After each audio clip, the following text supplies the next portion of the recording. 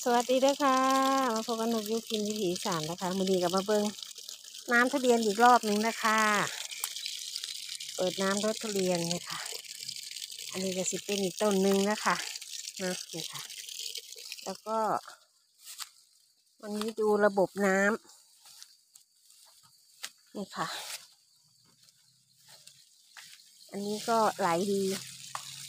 ออกดี ฝนที่บ้านนกบ่ตกสี่มือเนี่ยค่ะฝนบ่ตกนี่ก็ประมาณสี่มือนกก็หดเทือหนึ่ง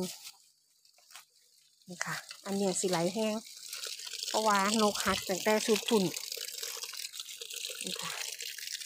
ต้นก็โอเคค่ะนี่ค่ะ แล้วก็มาอีกต้นหนึ่ง แต่ว่าต้นนี้นี่สีไหลแบบปกติค่ะ นี่ค่ะ ก็จะไหลประมาณนี้นี่ค่ะ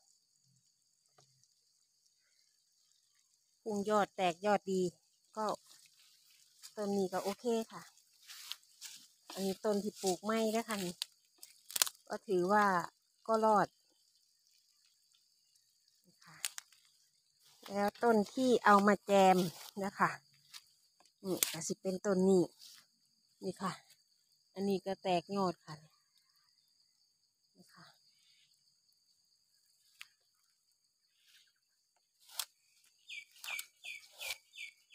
นี่ค่ะก็จะเป็นอีกต้นหนึ่งนี่ค่ะ ต้นนี้ก็ใหญ่อีกโตสูงขึ้นแห้งแต่ระบบน้ำนี่รู้สึกว่าสิควายลงสงสัยท่อสิตันค่ะมาเป็นหนังเดี๋ยวมาแก้ไข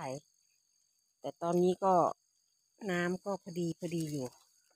นี่ค่ะ อันนี้ผักกูดเพราะค่ะ อีกต้นหนึ่งค่ะเดี๋ยวนี่ค่ะ อันนี้สิเป็นป้าหวานนกด้วยค่ะนี่ ป้าหวานป้าสมุนไพรทั้งหมดด้วยค่ะ เห็นนี่ว่าเป็นหญ้าส่วนหน่อยนะคะแต่ว่าสมุนไพรนี่ส่วนเยอะนะคะนกก็เลยปล่อย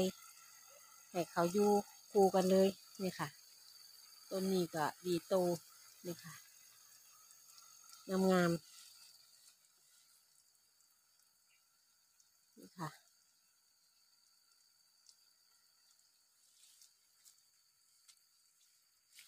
ต้นนี้นี่น้ำเขาก็สิออกแห้งอยู่ นี่ค่ะเดี๋ยวนกก็สิไปปิดน้ำแล้ว เขาก็สิพุ่งโตดีเด้อค่ะเนาะเนี่ยค่ะ เดี๋ยวนกก็สิขึ้นตัดตะคบลงจักหน่อยค่ะเนาะเพราะว่ามีตะคบเออทั้งต้นใหญ่แล้วเนาะค่ะนี่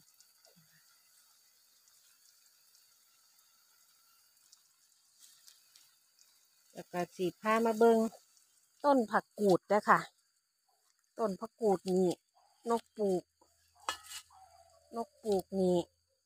โอ้ฝนมาแล้วเด้อค่ะถ้านกคดน้ำทุเรียนย้ำใดนี่ฝนมาโหลดแหละนี่ค่ะ นี่ค่ะอันนี้ก็ต้นผักกูด อันนี้นกปลูกรวมกันก็ อันนี้เลยเด้อค่ะเพราะว่า ผักกูดเนี่ยของเขามันสิไปเร็วค่ะ หากเขาไปมึงแดงมันก็สิไปมึงนั้นนกสิให้เขาแตกแหละธรรมชาตินี่ค่ะ มันได้หลายกอล้วค่ะนี่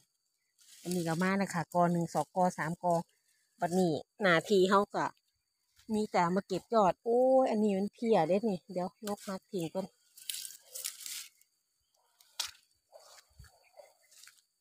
นี่ค่ะ นี่ โอ้ยอุบอวบใหญ่ๆยาวๆนี่ค่ะ ค่ะ เป็นเพียนนกหักหักออกก้อนด้วยค่ะ เพราะว่า เดี๋ยวมันสิลามไปอันอื่น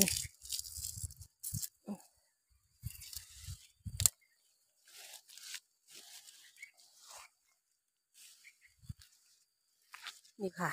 โอ้เดี๋ยวจังใดซ้ำนี่ก็เลิกค่ะ ฝนมาแล้วเนาะ นี่ค่ะกระเบื้องพักกูดเนี่ยค่ะ ต้นทุเรียนเดี๋ยวลูกไปปิดน้ำก่อนประมาณนี้นะคะกับสวัสดีค่ะ